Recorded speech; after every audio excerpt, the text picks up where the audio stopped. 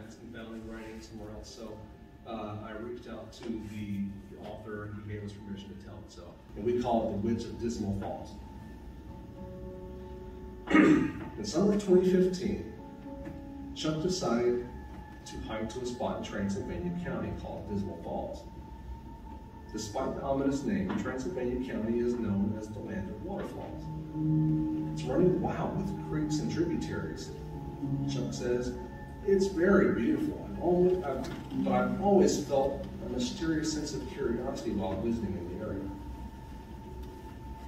A man by the name of Jim Bob Tinsley wrote a book called Land of Waterfalls about southwestern North Carolina and described the Dismal Falls as, quote, the most foreboding place in the southern Appalachians.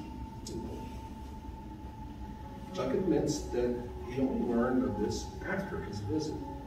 And he had known, had he known of Tinsley's apprehensions, he may not have ever made the trip at all. The hike itself is ridiculously demanding. Grades of over 50% make up the majority of the hike, and that's not an exaggeration. There are four waterfalls on the way up to the creek. The first two were sublime, safe, but with something challenging. About the time you hit the third falls called the grotto, he recalled the feeling of dread being very prominent, but also a sense of beckoning, drawing him closer. Chuck got to a split in the path, and his mount was no help. He could hear the falls down the side of the mountain, but he needed, but he felt he needed to go up. He left something behind to help find the way back and headed up the rugged jungle of earth that was the ridgeline. He had just started the intense scramble down when he got the sense he was being watched.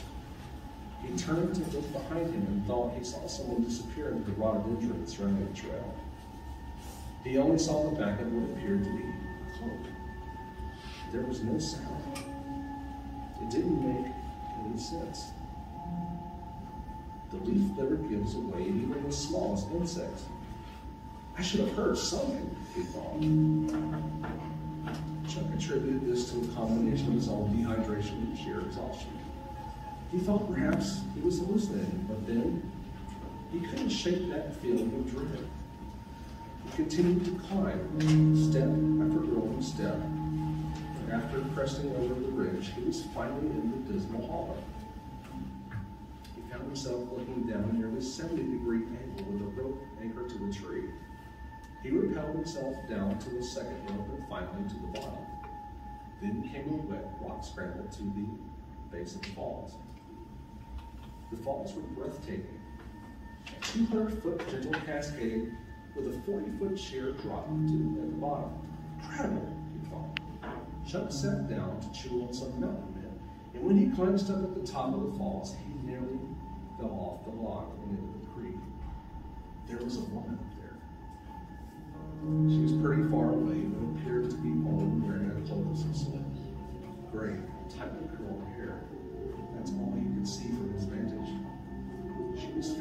for a few seconds before turning and falling. He immediately got up and started scrambling up the mossy soaked rock cascade toward the top of the falls. He got there after a very treacherous climb, only to find nothing. With hands on knees and taking labored breaths, he heard a voice from the bottom of the falls. It said in a strange, spectral voice.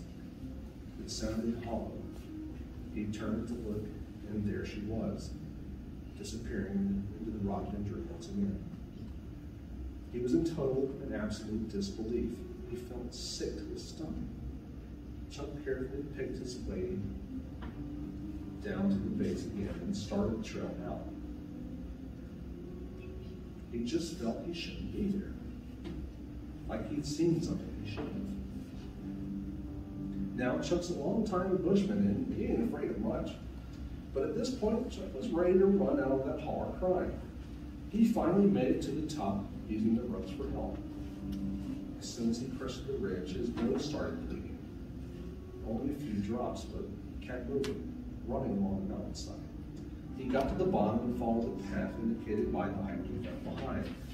He kept running and running and came around a blind curve. That's when he nearly ran into her at full speed. In trying to stop, he took a hard tumble, and when he opened his eyes, she was standing over him. She looked very Scottish, he recalled, with curly hair and fair skin. She didn't look particularly gruesome or haggard. She was very old, but it was obvious that her, in her youth, she had been very beautiful. Her eyes, though, eyes were very wide and full of vitality, very youthful, and the irises were so light blue that they were almost white. Though her form appeared benign, he had the distinct feeling that she did not mean him well, and that she did not want him there. He wanted to crawl away, but found he was backed up against a rock. He edged along it until he regained his feet, then backed away from her. Her expressionless gaze never left him. He ran until he was well off the mountain. When he stopped running, he was on a more well-established trail. He finally felt fine, but the dreadful gloom lingered. All was silence he hiked out. Not a single animal sound. He was almost out. Then suddenly, a bobcat appeared on the trail ahead of him, seemingly from nowhere. He stopped and looked at it. The bobcat looked at him. It had her eyes. He knew those were her eyes. He told her, Look, you've got a beautiful mountain here. I will never go back to your waterfall. Please let me go. Just let me go. He watched as the bobcat slowly turned away and disappeared into the thicket.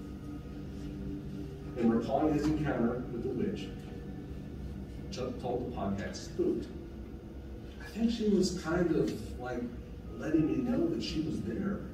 She's making her presence known more than anything else. And yeah, really, that's what I got from her for the most part, because like I said, she could have done whatever she wanted with me when I was laid up against that rock wall. It sounds crazy, but I think she stopped me on the trail to judge my character. She decided for whatever reason not to harm me and just see if I was worthy enough to be in her woods. And I think she determined that I must have been. The story was retold with kind permission of the author. Thanks, John.